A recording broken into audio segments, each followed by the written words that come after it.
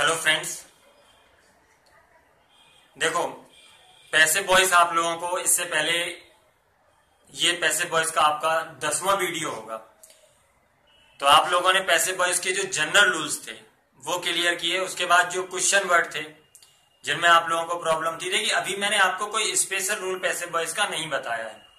इसके बाद जो इंपरेटिव सेंटेंस है, चूँकि इम्परेटिव सेंटेंस को हिंदी से इंग्लिश में ट्रांसलेट करने में प्रॉब्लम थी तो उसके लिए पहले आप लोगों को हिंदी से इंग्लिश में ट्रांसलेशन बताया गया। फिर इंपरेटिव सेंटेंस का जिस तरीके का मूड होता है, यानी इंपरेटिव सेंटेंस आपका कौन कौन सा भाव दर्शाता है ऑर्डर है एडवाइस है और रिक्वेस्ट है, उन तीनों को आप लोगों को अलग अलग बताया गया। इसके बाद इनके पैसे बताए गए। तो पैसे में अभी इंपरेटिव के आप लोगों को जनरल जो इंपरेटिव होते हैं, सामान्य तरीके से, जिससे हर तरीके के इंपरेटिव का पैसे बन जाता है। इसके पिछली वीडियो में आप लोगों ने वो देखा। चलिए आप आज अलग अलग करके देखते हैं। यानी अगर किसी सेंटेंस में ऑर्डर होगा तो आप उसे अलग तरीके से बना सकते हैं। अगर किसी सेंटेंस में एडवाइस होगा तो आप उसे अलग तरीके से बना सकते हैं। और रिक्वेस्ट होगा तब आप उसे अलग तरीके से बना सकते हैं। लेकिन एक जो जनरल रूल है, जो इन तीनों पे फॉलो होता है, वो इसके पिछले वीडियो में मैंने आपको बता दिया। चलिए आज फिर से एक इस वीडियो में आपको अलग अलग तरीके से समझ में आएगा। जैसे एक सामान्य सी बात है कि अगर कोई सेंटेंस आपके सामने इंपरेटिव है,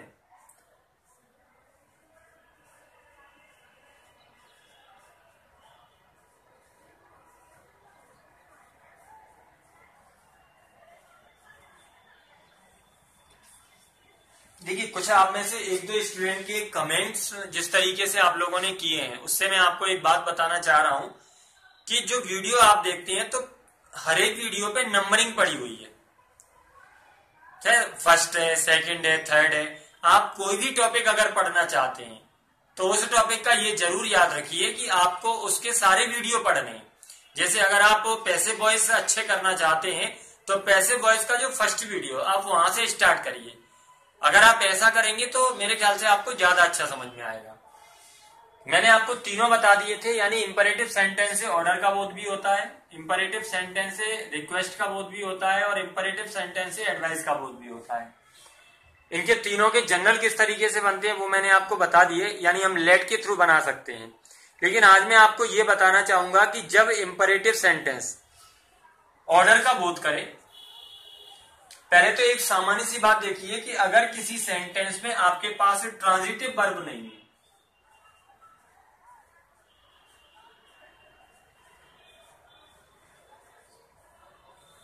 ये जो कुछ अंग्रेज़ी के टर्म्स हैं, अगर आपने ये अच्छे कर लिए तो विश्वास मानिए कि आपकी अंग्रेज़ी बहुत इजी हो जाएगी। यानी ट्रांजिटिव वर्ब होता क्या है? तो शायद मैंने पैसे वॉइस जब स्टार्ट किए थे, तब भी आपको बताया था कि जिन सेंटेंस में आपके पास ट्रांजिटिव वर्ब नहीं होता, उन सेंटेंस के पैसे वॉइस सामान्यतः नहीं बनाए जाते। अब ट्रांजिटिव वर्ब होता क्या है कि ट्रांजिटिव वर्ब का मतलब ऐसी क्रिया जिसका कोई कर्म हो। यानी उसे हिंदी में, शुद्ध हिंदी में कहते हैं सकर्मक क्रियाएँ। यानी जिस क्रिया का कोई कर्म होता है, उसे ट्रांजिटिव वर्ब कहते हैं। अब मान के चलिए कि आपके पास कोई ट्रांजिटिव वर्ब सेंटेंस में नहीं है। जैसे आप एक बात समझने की कोशिश करिए किस तरीके से। जैसे मैंने आपके सामने एक सेंटेंस दिया पोस्ट द लेटर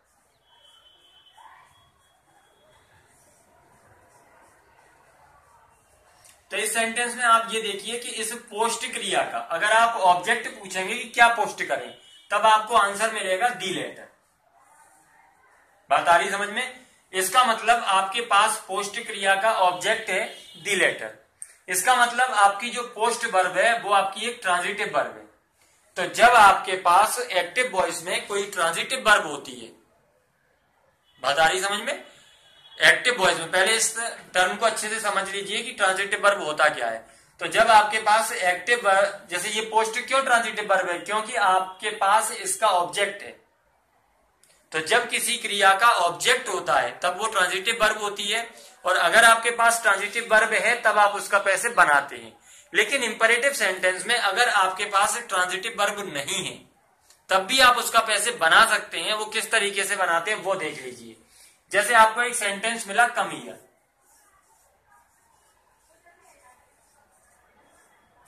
देखिए, इसका अगर आप पैसे बनाएँगे तो आप, मैंने इसके पिछली वीडियो में जो आपको बताया था कि आप लेट से भी बना सकते हैं। किस तरीके से? कि लेट लगाएँगे और इसके बाद ऑब्जेक्ट को ले लेंगे। तो ऑब्जेक्ट आपका दी लेटर ये पूरा का पूरा आपके लिए क्या हो जाएगा? एज सब्जेक्ट वर्क करेगा। इसके बाद क्या करेंगे? हेल्पिंग वर्ब के रूप में या बी लगाएँगे तो लेट द लेटर बी हो जाएगा। इसके बाद मेन वर्ब का थर्ड लगाएँगे पोस्टिव ठीक इसी तरीके से अगर आप इसमें देखें तो इसमें आपके पास जो वर्ब है कम इस कम क्रिया से अगर आप ये पूछेंगे कि इसका ऑब्जेक्ट क्या है तो वो आपको यहाँ नहीं मिल रहा। इसका मतलब ये जो वर्ब आपके पास है, वो ट्रांजिटिव वर्ब ना होके ये इनट्रांजिटिव वर्ब है।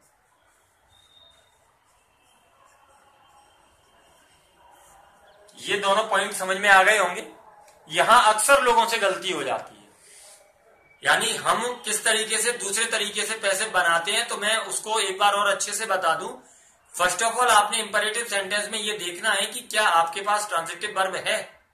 अगर ट्रांजिटिव वर्ब है, तब आप उसे बेझिझक लेट वाले तरीके से बना सकते हैं। लेकिन अगर आपके पास ट्रांजिटिव वर्ब है ही नहीं तो ट्रांजिटिव वर्ब नहीं होगी, तब आप लेट के बाद लगाने के लिए ऑब्जेक्टिव केस कहाँ से लाए? क्योंकि इसका तो ऑब्जेक्ट होगा ही नहीं। तो इसका मतलब आप इसे लेट वाले तरीके से पैसे वॉइस में नहीं बदल सकते। तो इसके लिए आपके पास एक दूसरा तरीका है। लेकिन यहाँ आपको पहचानना क्या होगा कि पहले तो आप ये देखेंगे कि इसमें ट्रांजिटिव वर्ब नहीं है। उसके बाद आप ये देखेंगे कि सेंटेंस का जो मूड है इंपरेटिव सेंटेंस का जो मूड है, वो ऑर्डर होना चाहिए। यानी सेंटेंस से जो भाव प्रकट होता है सेंटेंस का जो अर्थ निकलता है, वो आपको आदेश जैसा लगना चाहिए। जैसे अगर आप किसी से कहते हैं कम ईयर यहाँ आओ तो ये क्या हो गया? ये एक ऑर्डर हो गया। तो सेंटेंस में ऑर्डर भी है बट सेंटेंस में ट्रांजिटिव वर्ब नहीं है। अगर ये दोनों कंडीशन अप्लाई होती हैं कौन कौन सी?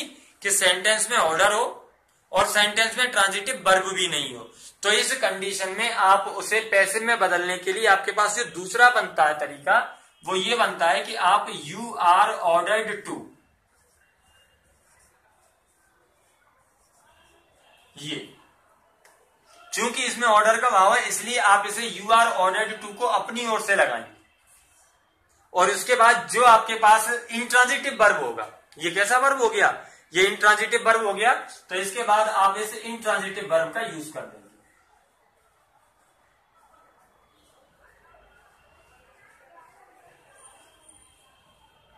अब आपको ये लग रहा होगा कि यार ये तो बहुत सरल तरीका है।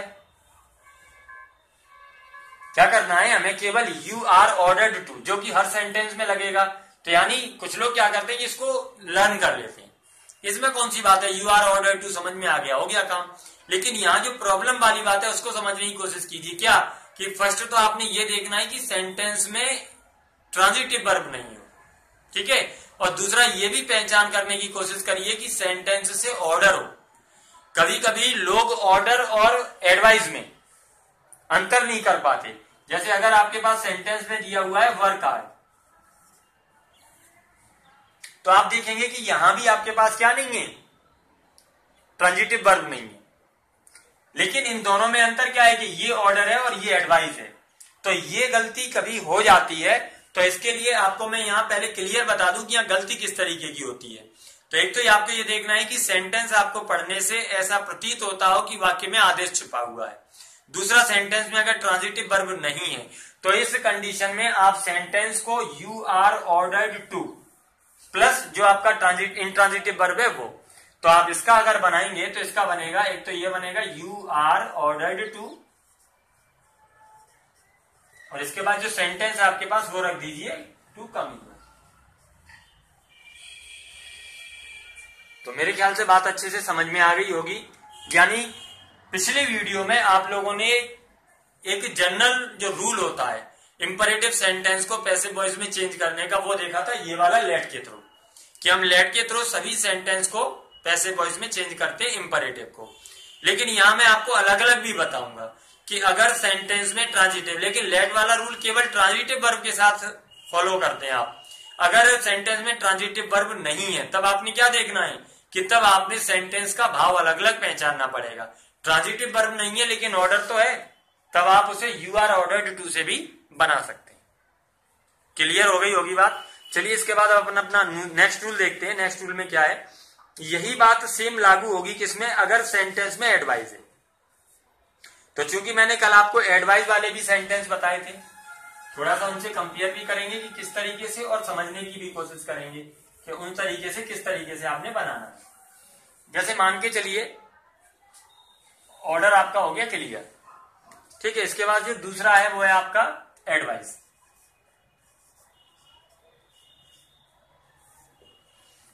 ठीक है, अब आपने समझना है कि अगर सेंटेंस से एडवाइस एडवाइस का मतलब क्या होता है? सलाह। अगर सेंटेंस से एडवाइस है, तब आप लेट वाले सामान्य तरीके से बना सकते हैं, जैसे कैसे? सेंटेंस है आपके पास हेल्प द हेल्पलेस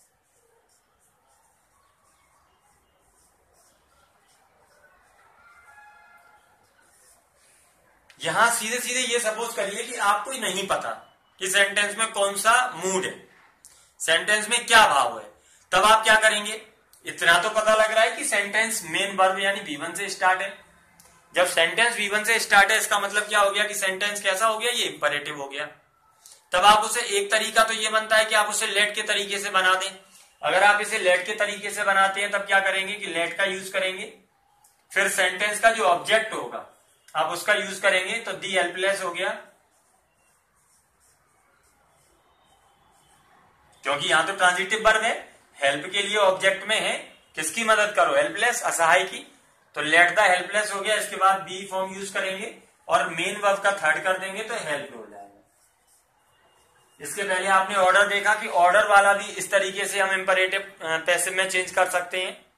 यहाँ आप देख रहे हैं कि एडवाइस वाले को भी इस तरीके से आप चेंज कर सकते हैं। दूसरा तरीका भी होता है कि आप एडवाइस वाला अगर कोई सेंटेंस आपको मिलता है, तब आप उसे पैसे में बदलने के लिए शुड बी का यूज़ भी करते हैं। ऑर्डर में ऐसा नहीं था, लेकिन एडवाइस में मैं आपको एक अलग से बात बता रहा हूँ कि अगर आपको ये पता लग जाता है कि सेंटेंस में आपके पास एडवाइस है। देखिए, मैंने आपको इसके पिछले वीडियो में भी एक बात बताई थी कि यहाँ आपको ये नहीं समझना, कुछ स्टूडेंट ये दिमाग लगा रहे होंगे कि यार जब एक तरीका है तो हमें दूसरा क्यों सीखना? चलता है, दिमाग चलता है। लेकिन हाँ मैं ये बताना चाहूँगा कि आप किसी टेंथ या ट्वेल्थ के एग्ज़ाम में आपको कोई ये नहीं दे रहा कि हेल्प द हेल्पलेस आप इसका पैसे बना दीजिए। सो आप इस तरीके से बनाए आए। वहाँ आपके पास आंसर होगा ऑप्शन में। और अगर ऑप्शन में इसका आंसर शुड भी वाले पैटर्न से होगा, तब भी आपको आना चाहिए कि इससे भी बनता है। किसी दूसरे पैटर्न से होगा, तब भी आपको आना चाहिए कि इससे भी बनता है। तो यहाँ आपको जितने भी तरीके होते हैं, वो सारे सीखने पड़ेंगे। तो एक तो तरीका ये हो गया कि आप इसे लेट से बना सकते हैं। सेकंड इसका तरीका क्या होता है कि जो एडवाइस होती है, वो शुड से भी व्यक्त की जाती है।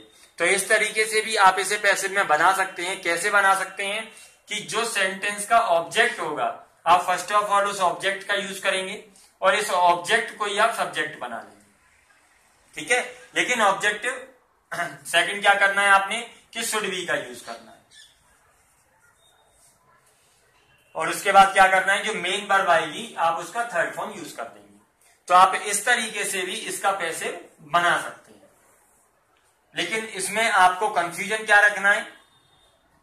जो दिमाग में आपके में कंफ्यूजन वहाँ पैदा होगा, उसको अभी से याद रखिए कि यहाँ कंफ्यूजन हमारे लिए क्या आएगा? कि क्या हम सेंटेंस पढ़ करके ये पहचान पाएँगे कि सेंटेंस में एडवाइस है? क्योंकि अगर सेंटेंस में एडवाइस होगा, तभी तो आप शुड बी का यूज़ कर पाएँगे। अगर सेंटेंस में एडवाइस ही नहीं होगा, तब आप शुड बी का यूज़ थोड़ी कर देंगे। जैसे इससे पहले मैंने आपको सेंटेंस दिया था पोस्ट द लेटर आप कहीं यह सोचें कि इस पोस्ट द लेटर को भी इससे बना सकते हैं तो नहीं बना सकते। क्योंकि इसमें ऑर्डर है, और ऑर्डर शुड बी से थोड़ी ना दिया जाएगा। तो इसके लिए ये बहुत ज़रूरी है कि आप सेंटेंस को पढ़ करके उसका मीनिंग निकालें, उसका अर्थ निकालें सेंस निकालें और उससे समझें कि इसमें एडवाइस है। तभी आप उसे बी से पैसे में चेंज करें। तो इस तरीके से अगर आप इसे पैसे में चेंज करेंगे तो क्या बनेगा कि the helpless should be help ये हो गया आपका सेकेंड मेथड ये फ़र्स्ट हो गया कि आप लेट वाले तरीके से तो बना ही सकते हैं। इसके बाद सेकंड हो गया कि आप बी वाले तरीके से भी बना सकते हैं। थर्ड जो मैंने बात आपको वहाँ बताई थी कि इन दोनों में लेकिन एक चीज़ है कि आपके पास ट्रांजिटिव वर्ब है। यानी ऑब्जेक्ट आपके पास होगा जिसे आप सब्जेक्ट बना लेंगे। लेकिन अगर एडवाइस भी हो और सेंटेंस में ट्रांजिटिव वर्ब भी नहीं हो, इसका तीसरा तरीका। दोनों तरीके अगर मेरे ख्याल से आपकी समझ में आ गए होंगे तो मैं थर्ड तरीका और दिखा रहा हूँ आपको। लेकिन वो तरीका स्पेशल कंडीशन है किसके लिए? कि सेंटेंस में एडवाइस भी होनी चाहिए, लेकिन सेंटेंस में ट्रांजिटिव वर्ब के प्लेस पर यहाँ क्या होगा? इन ट्रांजिटिव वर्ब होगा।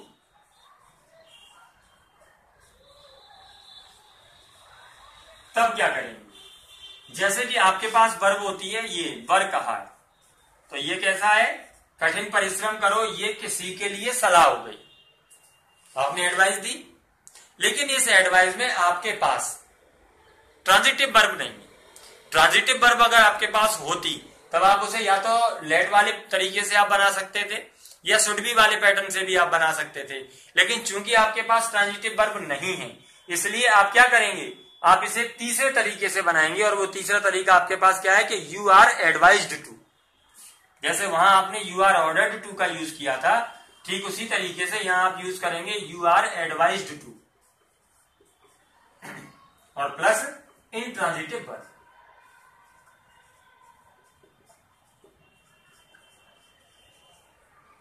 ठीक है? आप इस तरीके का यूज़ करके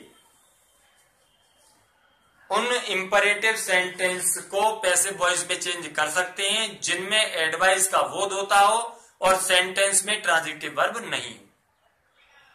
समझ में आ रही बात? तो यहाँ एडवाइस का वो हो रहा है बट सेंटेंस में ट्रांजिटिव वर्ब भी नहीं। है तब आप इसका पैसे बनाने के लिए क्या करेंगे कि आप यू आर एडवाइज टू का यूज़ अपनी ओर से कर देंगे। ठीक है? और उसके बाद जो आपके पास इंट्रांजिटिव वर्ब होगी, आप उसका यूज़ कर देंगे। तो ये आपका दूसरा पैटर्न हो गया। कि अगर आपके सामने कोई एडवाइस छुपी हुई है सेंटेंस में, तब आप उसे तीन तरीके से बना सकते हैं। लेट वाला एक जो पैटर्न कॉमन है, उससे तो सभी को बना सकते हैं। लेकिन हाँ किन सभी को? जिनमें ट्रांजिटिव वर्ब हो। पर अगर इंट्रांजिटिव वर्ब होगी तो ऑर्डर वाले को यू आर ऑर्डर टू से, और एडवाइस वाले को यू आर एडवाइज टू से भी आप चेंज कर सकते हैं। चलिए, तीसरी अपन बात करते हैं रिक्वेस्ट की। दो बात होगी, मेरे ख्याल से समझ में आ गया होगा। कुछ सेंटेंस ऐसे होते हैं इंपरेटिव सेंटेंस होते हैं, लेकिन सेंटेंस में ना तो ऑर्डर होता है और ना एडवाइस होता है। तो जब ऑर्डर और एडवाइस नहीं होगा तो सेंटेंस में क्या होगा? फिर रिक्वेस्ट होगा।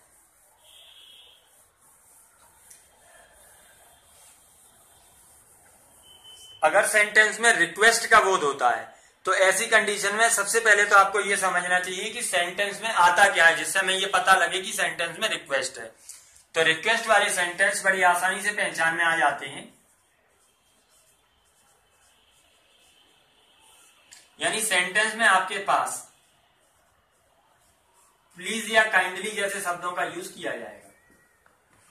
तो इनसे बड़ी आसानी से आप पहचान जाएँगे कि इस सेंटेंस में रिक्वेस्ट का बोध हो रहा है। जैसे मैं आपके सामने एक सेंटेंस देता हूँ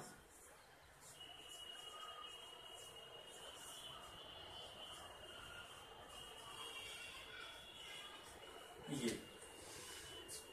ठीक है? तो चूँकि यहाँ प्लीज़ आया हुआ है तो आप प्लीज़ से पहचान जाएँगे कि सेंटेंस में रिक्वेस्ट है। ऐसी कंडीशन में आप इसे भी लेट के तरीके से पैसिव में चेंज कर सकते हैं। लेट के तरीके से अगर आप करते हैं, तब आप क्या करेंगे कि फ़र्स्ट ऑफ़ ऑल लेट का यूज़ करेंगे। लेट के बाद जो सेंटेंस का ऑब्जेक्ट है, आप उसका यूज़ करेंगे तो यहाँ आपके पास ऑब्जेक्ट दो हैं, एक मी है और एक एबुक है। आप चाहें तो मी से भी बना सकते हैं और आप चाहें तो एबुक से भी बना सकते हैं। अगर आप मी से बनाते हैं तो ऑब्जेक्टिव केस को आप ऑब्जेक्टिव केस में ही रखते हैं लेट के साथ। तब आपने यहाँ लेट मी का यूज़ करना है। इसके बाद हेल्पिंग वर्ब के रूप में आप यहाँ बी लगाएँगे। मेन वर्ब का थर्ड करेंगे। और इसके बाद जो सेकंड ऑब्जेक्ट है, आप उसे रख देंगे। पहली बात लेकिन इस तरीके में आपको ये याद रखनी है कि अगर इंपरेटिव सेंटेंस में प्लीज़ या काइंडली जैसे शब्दों का यूज़ होता है तो पैसे में बदलते समय उन्हें हटा देते हैं क्योंकि उनकी आवश्यकता नहीं होती। ठीक, पहली बात। यानी प्लीज़ या काइंडली का यूज़ आप यहाँ किसी तरीके से नहीं करेंगे। इसका दूसरा तरीका भी हो सकता था कि आप मी से ना बनाते हुए ए बुक से भी बना सकते थे तो आप ए बुक से बना सकते हैं। पी वन लेकिन एक तरीका जो शायद मैंने आपको पीछे बताया था कि यदि पैसे वॉइस में जीवित कर्म को डायरेक्ट और इनडायरेक्ट अगर आप समझ लेते हैं तो, तो अच्छी बात है। ठीक है? अगर पैसे वॉइस में इनडायरेक्ट ऑब्जेक्ट को वर्ब के बाद में लिखना होता है तो उसके लिए टू लगाना होता है। तब आप यहाँ टू मी का यूज़ करेंगे। बात आ गई होगी समझ में? तो इस तरीके से आप बना सकते हैं। ये तो मैंने आपको पीछे भी बता दिया था। क्या? कि अगर इंपरेटिव सेंटेंस से ऑर्डर का बोध होता है तब आप उसे लेट से ट्रांसलेट सॉरी लेट से चेंज कर सकते हैं। एडवाइस होता है, तब आप उसे लेट से बदल सकते हैं। और अगर रिक्वेस्ट होता है, तब भी आप उसे लेट से बदल सकते हैं। लेकिन अगर ट्रांजिटिव वर्ब नहीं आया तो जैसे यहाँ था तो ऐसी कंडीशन में आप उसे किस तरीके से बदलेंगे? तो उसमें भी आपको देखना है, जैसे आपके सामने कोई सेंटेंस दिया गया, ये। प्लीज़ सेट डाउन तो यहाँ आपको इस सेंटेंस में देखने को मिल रहा है कि इसमें कोई ट्रांजिटिव वर्ब नहीं है। लेकिन हाँ सेंटेंस से पता लग रहा है कि सेंटेंस में प्लीज़ दिया हुआ है, इसका मतलब सेंटेंस से रिक्वेस्ट का बोध हो रहा है। यहाँ पहचानना आपके लिए बड़ा आसान रहेगा ऑर्डर और एडवाइस की तुलना में। क्योंकि ऑर्डर एडवाइस में आपको अर्थ करके निकालना है सेंस निकालना है सेंटेंस का, तब पता लगेगा। लेकिन यहाँ प्लीज़ से आप समझ जाएँगे काइंडली से आप समझ जाएँगे कि सेंटेंस में रिक्वेस्ट है। अगर सेंटेंस में रिक्वेस्ट है और सेंटेंस में ट्रांजिटिव वर्ब नहीं है, जैसे सिट डाउन ट्रांजिटिव वर्ब नहीं है तो ऐसी कंडीशन में आप उसे पैसिव में बदलने के लिए क्या करेंगे कि यू आर रिक्वेस्टेड टू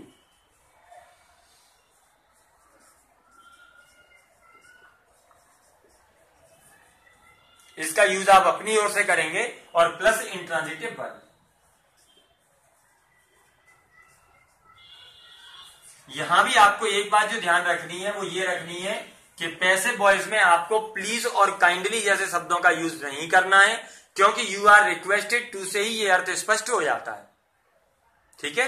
तब आप यहाँ भी क्या करेंगे कि इसका अगर बनाएँगे तो आप ये कर देंगे कि यू आर रिक्वेस्टेड टू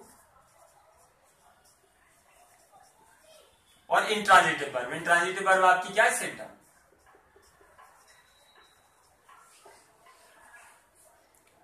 तो शायद अब आपको तीनों बातें अच्छे से समझ में आ गई होंगी कि अगर ऑर्डर हो, तब आप उसे you are order to say but intransitive verb हो। अगर एडवाइज हो, तब आप you are advise to say but intransitive verb के साथ। और यदि रिक्वेस्ट हो तो you are requested to say intransitive verb के साथ बना सकते हैं। लेकिन अगर ट्रांजिटिव वर्ब है, तब आप उसे लेट से बनाते हैं। ठीक है? हाँ थोड़ा सा एडवाइस में याद रखना है कि एडवाइस वाले को आप शुड बी से भी बना सकते हैं। लेकिन आप पहचान जाए कि सेंस क्या है सेंटेंस का। तो इस तरीके से आपको पैसे वॉइस में इंपरेटिव सेंटेंस को पैसे वॉइस में किस तरीके से बदलते हैं, उसके तीनों पैटर्न आ गए। अब चलिए आज आपके लिए पैसे वॉइस के अलावा। इंपरेटिव सेंटेंस केवल यही नहीं होते। यानी ऑर्डर एडवाइस और रिक्वेस्ट जो अपन ने तीन स्टार्टिंग में पढ़े थे, उनके अलावा। पहले आपको एक अलग प्रकार के इंपरेटिव हिंदी से इंग्लिश में मैं आपको बताऊँगा। यानी कुछ इंपरेटिव सेंटेंस ऐसे होते हैं जिनसे परमिशन का बोध होता है।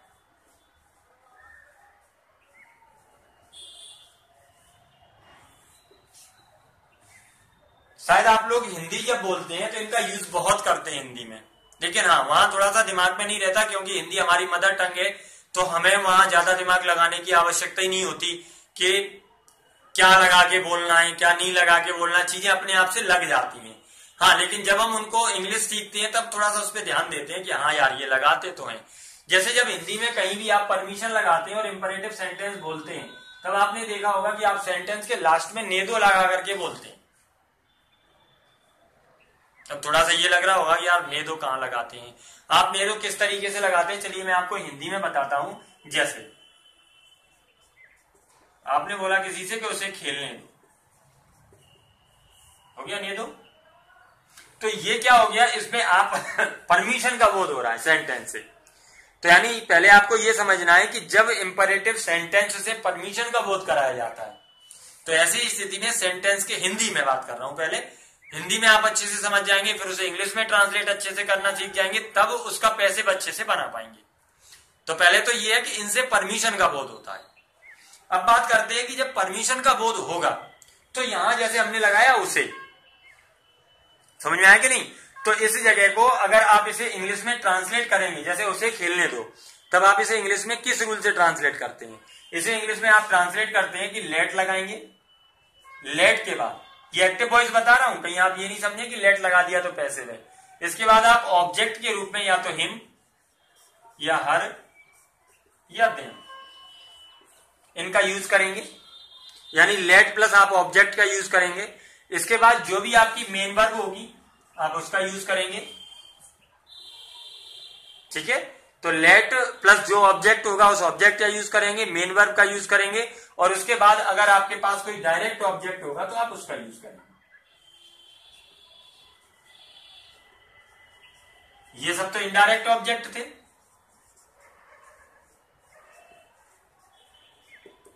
ठीक है? तो यानी आप इसे बिल्कुल सामान्य तरीके से देख सकते हैं कि जब इंपरेटिव सेंटेंस से परमिशन का बोध होता है, तब हम उसे इंग्लिश में किस तरीके से ट्रांसलेट करते हैं, पहले वो देखिए। हिंदी में कैसे पहचानना है कि सेंटेंस में ने दो आएगा। ठीक है? इंग्लिश में आप उसे किस तरीके से ट्रांसलेट करेंगे? इस तरीके से। जैसे यहाँ आप क्या करेंगे कि लेट का यूज़ करेंगे। इसके बाद जो यहाँ ऑब्जेक्ट होगा, आप उसका यूज़ करेंगे जैसे उसे। उसे का मतलब हिम या हर किसी को भी मान सकते हैं। उसे का मतलब आप उसे लड़का भी कह सकते हैं और लड़की भी। तो मान के चलिए कि लेट हिम इसके बाद आपकी मेन वर्ब क्या है? खेलना। तो आपने उसके यूज़ कर दिया प्ले तो इस तरीके से आप एक सामान्य परमिशन वाले इंपरेटिव सेंटेंस को हिंदी से इंग्लिश में ट्रांसलेट करते हैं। बात आ रही समझ में? अब आपने इसे, यानी यहाँ हमें यह समझना है कि पहले हमें एक्टिव समझना है। एक्टिव को कैसे ट्रांसलेट करते हैं, वो समझना है। ठीक है? दूसरा क्या होता है कि ये तो परमिशन हो गया। अगर परमिशन के बाद आप दूसरी चीज़ की बात करते हैं, दो चीज़ें होती हैं तो दूसरी चीज़ आपका होता है प्रपोजल और सजेशन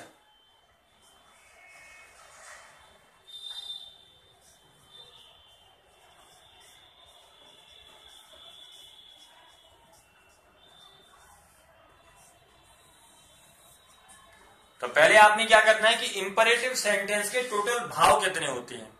ऑर्डर होता है एडवाइस होता है और रिक्वेस्ट होता है। उन तीनों को आप बीवन से स्टार्ट करते थे। इसके बाद आपका एक कौन सा हो गया? परमिशन इसे आप लेट से स्टार्ट करते हैं। और चौथा हो गया आपका प्रपोजल या सजेशन जब प्रपोजल या सजेशन हम कभी हिंदी में बोलते हैं इंपरेटिव रूप में, तब हमें वहाँ क्या मिलता है? तब हमें वहाँ मिलता है चलो चल। सेंटेंस से किस प्रकार का भाव होगा? चलो चले का बोध होगा किसमें? प्रपोजल या सजेशन में। किस तरीके से चलो चले का बोध होगा वो देख लीजिए, जैसे।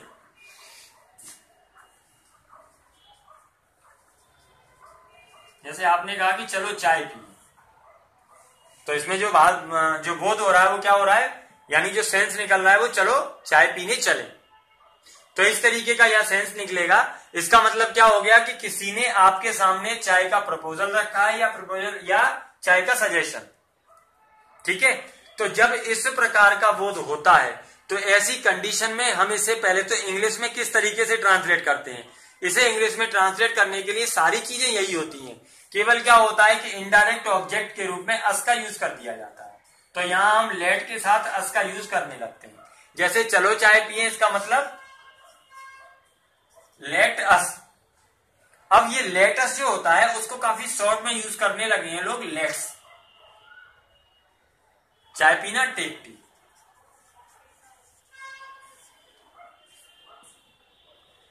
पहले हिंदी से इंग्लिश में अगर अच्छे से समझ में आ जाएगा, तब कहीं आप उसका पैसे अच्छे से बना पाएँगे। बात दोनों समझ में आ गई होंगी। पहले इंपरेटिव के टोटल समझ लीजिए। इंपरेटिव से कौन कौन से भाव है? इंपरेटिव से ऑर्डर है। बी वन से स्टार्ट होगा एडवाइस है बी वन से स्टार्ट होगा रिक्वेस्ट है बी वन से स्टार्ट होगा।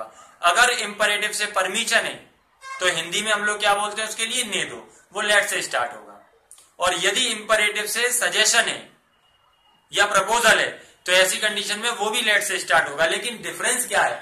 जब यहाँ लेट से स्टार्ट होगा, यानी परमिशन में तो इनडायरेक्ट ऑब्जेक्ट के रूप में आप हिम हर और देम का यूज़ करेंगे। लेकिन अगर आप सजेशन के रूप में या प्रपोजल के रूप में लेंगे तो अस का यूज़ करेंगे। इसका भी थोड़ा सा अगर समझने की कोशिश करेंगे तो समझ जाएँगे नहीं प्रपोजल प्रपोजल माने प्रस्ताव रखा जाता है। प्रस्ताव किसी एक व्यक्ति ने रखा लोगों के सामने। इसका मतलब वो सब क्या हो गए? वी हो गए। और वी का ऑब्जेक्टिव केस क्या होता है? तो इस तरीके से यहाँ इसका यूज़ किया जाता है। जैसे चलो खेलें। मतलब चलो खेलने चले। तो इसमें क्या हो गया? चलो खेलें तो वो अकेला तो नहीं खेलेगा। इसमें उसके सामने वाले लोग चाहिए, इसका मतलब वो सब मिल करके। तो वो सब हम हो गए और हमको ऑब्जेक्टिव केस में आपने लिया तो अस हो गया। तो इस तरीके से यहाँ क्या, काय का यूज़ करेंगे आप? यानी प्रपोजल और सजेशन में आप अस का यूज़ करेंगे। तो पहले आपको ये दोनों बातें अच्छे से समझ में आ जाए कि हिंदी में इनको किस तरीके से यूज़ करते हैं, उसका इंग्लिश ट्रांसलेशन किस तरीके से किया जाता है, फिर इनका पैसिव कैसे बनाते हैं। इससे आप लोगों को बोलचाल में भी थोड़ी सी सुविधा होगी और अच्छा लगेगा कि हाँ हमें ये चीज़ समझ में आई।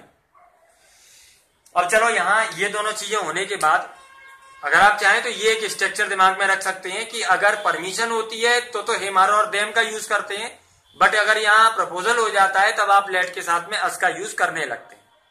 अब बात करते हैं इनके पैसे की। ठीक है?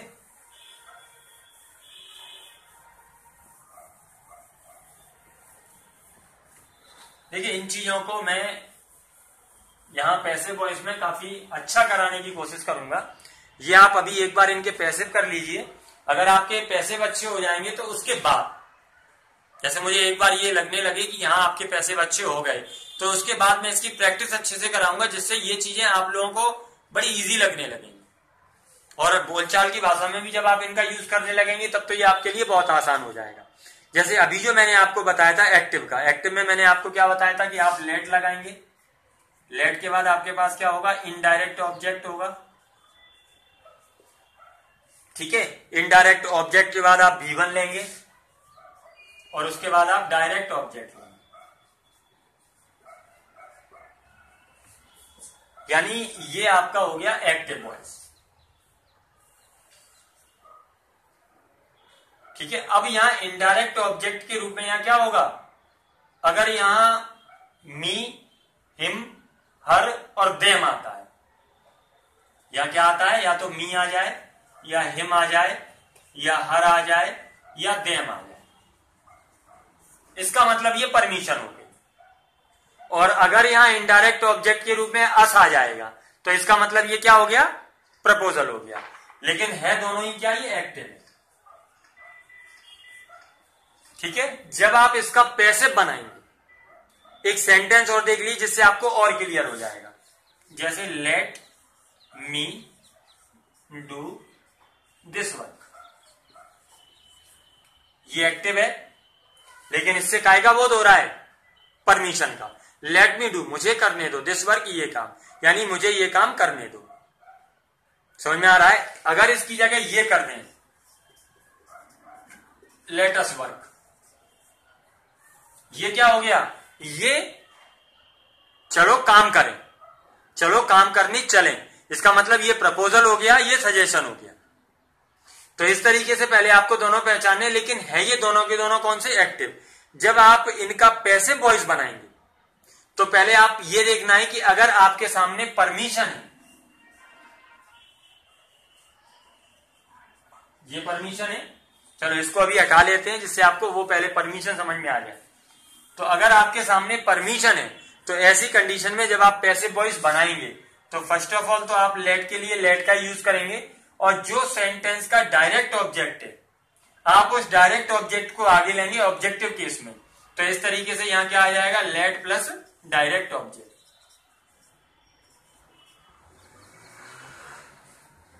इसके बाद ये मैंने आप, आपको बताया कि ये आपके लिए आप समझ सकते हैं कि ये सब्जेक्ट हो गया। इसके बाद हेल्पिंग वर्ब लगाएँगे तो बी लगेगा इसके बाद क्या करेंगे? मेन वर्ब की थर्ड लगाएँगे। बी थ्री और इसके बाद क्या करेंगे? बाई प्लस जो आपके पास इनडायरेक्ट ऑब्जेक्ट है, आप उसे बाई प्लस ऑब्जेक्ट में चेंज कर देंगे। तो इस तरीके से ये परमिशन वाले जो सेंटेंस होंगे, ये जो मैंने अभी एक्टिव में बताए, आप इनके पैसे बना पाएँगे। लेकिन यहाँ ध्यान रखना है कि आपके पास क्या होना चाहिए? परमिशन वाले सेंटेंस अब आप इसका पैसे बनाएँगे तो फ़र्स्ट ऑफ़ ऑल आप लेट के लिए लेट का यूज़ करेंगे। सेंटेंस में ऑब्जेक्ट है आपके पास दिस वन कौन सा? डायरेक्ट ऑब्जेक्ट यानी आप सीधे समझ सकते हैं कि निर्जीव कर्म आप इसे आगे लेंगे तो क्या हो जाएगा? ये दिस वन हेल्पिंग वर्ब के रूप में आप यहाँ, यानी जो पैसे वॉइस बनता है वो बी फॉर्म में बनता है। इसके बाद जो मेन वर्ब है डू इसका थर्ड कर देंगे। और इसके बाद क्या करेंगे? जो आपके पास इनडायरेक्ट ऑब्जेक्ट था, आप इसे बाई प्लस ऑब्जेक्ट में बदल देंगे। तब ये आपका हो जाएगा let this work be done by me तो इस तरीके से आप किसको चेंज कर पा रहे हैं? लेकिन यहाँ दिमाग में ये रखना है कि ये हो गया आपका परमिशन तो इस तरीके से आप सामान्य तरीके से परमिशन वाले सेंटेंस को चेंज कर सकते हैं। हाँ अगर इसकी जगह कहीं प्रपोजल होता है तो ऐसी कंडीशन में मैंने अभी आपको क्या बताया कि लेट लेट के बाद आपके पास अस होगा और उसके बाद वी होगा। ये हो गया आपका एक्टिव काय में प्रपोजल सजेशन जब आप इसका पैसे बनाएँगे तो इसमें चूँकि आपके पास डायरेक्ट ऑब्जेक्ट नहीं होगा, ऐसी कंडीशन में आप इसे पैसे बॉयज़ में बदलने के लिए यहाँ चूँकि ये सजेशन है, इसलिए आप इट इज़ सजेस्टेड का यूज़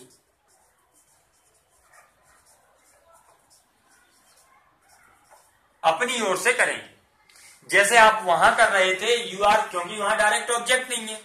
सीधी सीधी बात है, वही ट्रांजिटिव वर्ब जो मेन चीज़ है, वही है कि आपके पास ऑब्जेक्ट नहीं है लगाने को। इसका मतलब आप यहाँ क्या करेंगे कि इट इज़ सजेस्टेड टू का यूज़ अपनी ओर से करेंगे, और इट इज़ सजेस्टेड टू करने के बाद फिर आप क्या करेंगे कि जो सजेशन होता है, उसे हम कहा से शुड से भी बना सकते हैं। तो हम क्या करेंगे? प्लस वी जो हमारे पास ऑब्जेक्टिव केस होगा। चलिए इसको हटा देते हैं, जिससे और अच्छे से आपको समझ में आएगा।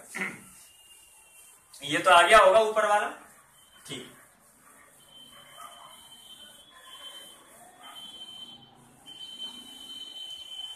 देखिए, अगर ये आता है आपका कि let plus us plus B one तो ऐसे आप पैसे में बनाएँगे क्योंकि ये सजेशन है तब आप पैसे में बनाने के लिए क्या करेंगे कि इट इज़ सजेस्टेड